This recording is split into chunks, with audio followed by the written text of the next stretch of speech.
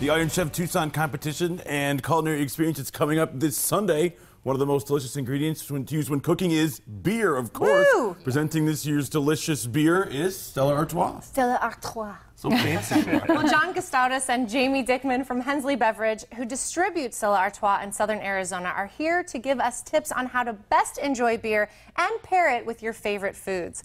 You guys, I couldn't be more happy that you're here. Yeah, so welcome we're to the show. to be here. Thank you. So again, we're talking a little bit about Stella Artois because they're actually sponsoring the Iron Chef Tucson event. So let's talk about the beer. I'm really excited because you brought some for us to even taste today. We did, and so while I explain it a little bit, John will pour a little bit for Awesome. Uh, so Stella Artois is a traditional uh, Belgian Pilsner. It was brewed by uh, Sebastien Artois. Um, it's a couple centuries old overall with the brewing traditions. Um, interestingly enough, it was originally brewed as a Christmas ale. At the time, a lot of the ales during that, or, sorry, lager, not ale.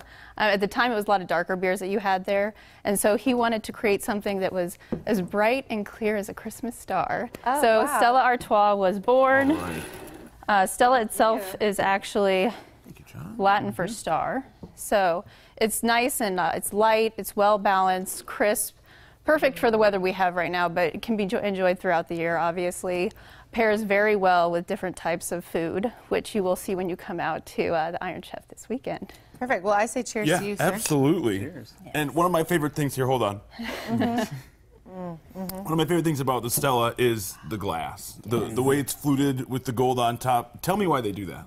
Well, there's a tradition in Belgium that uh, each brand, each style of beer has its own special glass. And the glass is really designed to give you the best experience of the beer. So a beer that might be highly carbonated, there's a, it might be fluted out to release some of the carbonation so it's in perfect balance.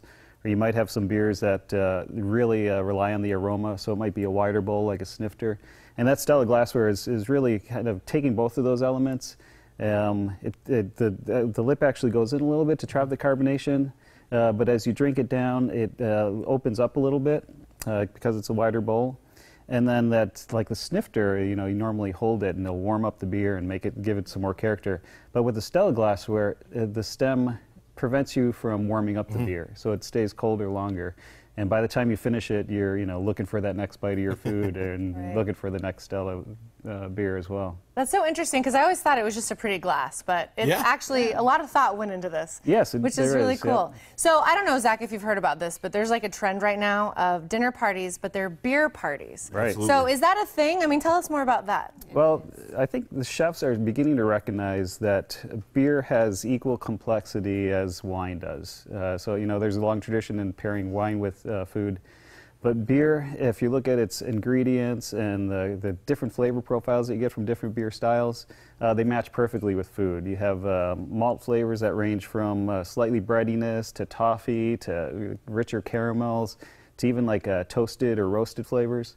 And those flavors uh, really match perfectly with a lot of foods. And then we could get into hop profiles that also um, match uh, flavors that you find in food. And then there's yeast strains too that add some complexities to the beer, making some beers even perfect for aging and, and uh, developing flavors over time. Well, and I'm glad you mentioned that because you talked about the complexities with things like wine, but now you're seeing companies like Goose Island delivering the beer in Right. bottles that, if you weren't looking closely, you may think this was a wine bottle. Yeah, these uh, beers are really brewed. Uh, they could be drunk immediately, you know, upon purchase. They're brewed that way, uh, but you could age any of these beers for you know three to five years, and uh, depending on the style, it um, you know yeast flavors might develop more or less. Um, hop flavors, hop profiles may change, um, so you're getting a different experience of the beer as it ages. Um, there's a really a lot of interesting, complex flavors in beer, and uh, you find it with uh, bottles like this. Makes perfect for sharing at a family event or Oh, meeting yeah. with friends.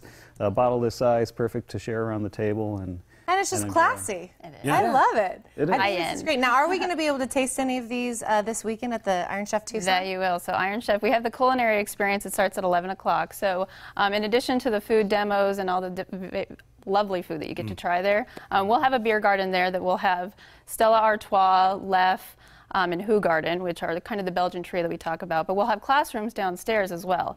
Um, these Goose Island brands will be there as part of our sour beer symposium.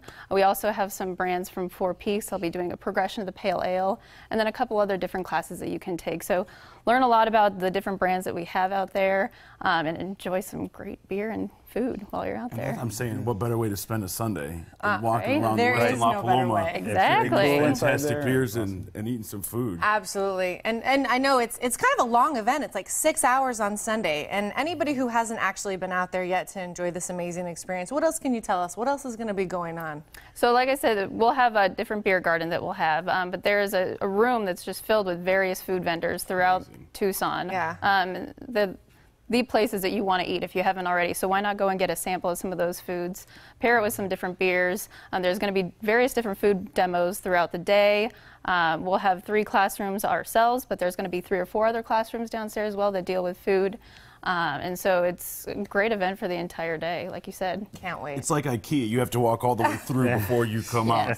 Stella Artois presents the Iron Chef Tucson competition and culinary experience this Sunday at the Westin La Paloma Resort.